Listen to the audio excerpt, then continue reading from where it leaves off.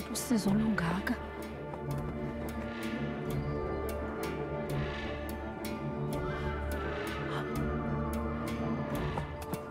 Precisou não gaga. Hum.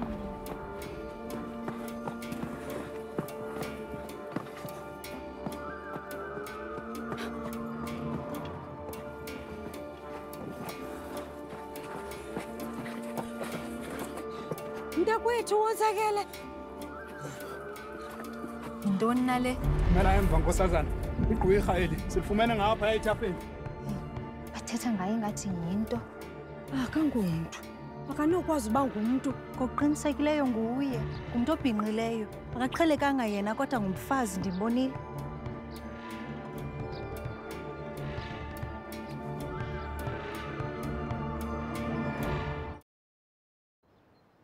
guqa ndiyacela. Andiyo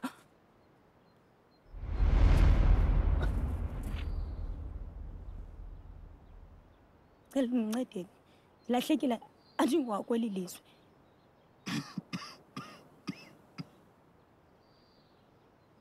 Zama ukuthi ndisuka kwenye indawo. Ndicela nje ugoduka qha ndiyacela mnumzana kumkani.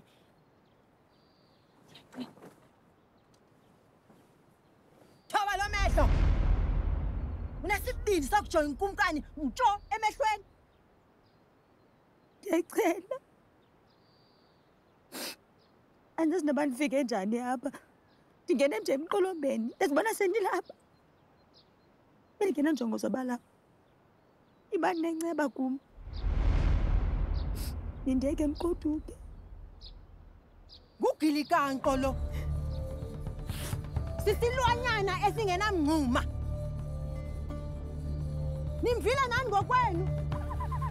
Uthe usuka kwelinye ilizwe ufuneka sinqumla umqala lishwangusha eli. Kuthe gqi kanye ngeli xesha unyana kamamthembu ehlaselwa yinkungu. Le nto yale nkungu ayilobha yinkungu yakhe le.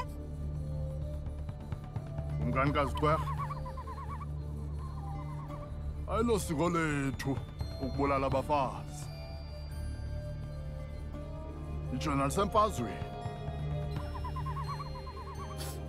Ayingomfazi le nto Limpundulu le.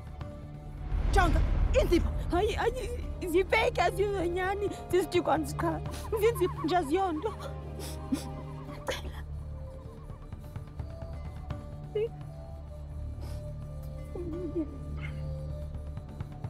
Ah, jongina.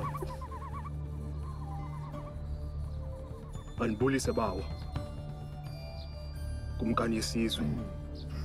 hayi hayi hayi ubekwa yintoni apha nyana wam kumele ukuba uyaphumla Ndilapha nje kumkani. Ndizokuthethelela lo mfazi. Ndimtyala ubomi bam. Ukuba bekungenguye ngendidlulile lo mhlaba.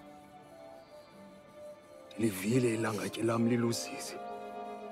Walinqanda igazi lam. Wayivala nenyama yam.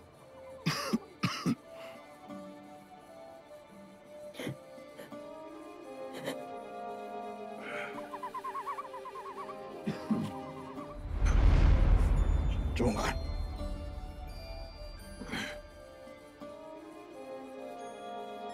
Kumkani. Ubusindisile ubomi bam. Ngoko ke, ndilapha ukuze ndisindise obakhe. hayi umgqibile. Kumkani wakulalisa nje uboya. Ndicela ungakulinga ubaphulaphula. Yenze lukhuni intliziyo yakho kumkani. Ngoba uba wenze njalo. Abantu bakuthi baza kohlelwa yintlekele ongazange ke wayibona Siyazi loo nto, gqwirha. thuna wena! Awuboni ikumkanikazi yokuqala iyathetha Kumkani. Usiyazi wasilumkisa ukuba sizawuvelelwa inhlekele nenkaleko engaphaya. Lo uphuma kwilizwe singalaziyo kwaye usizela nobumnyama.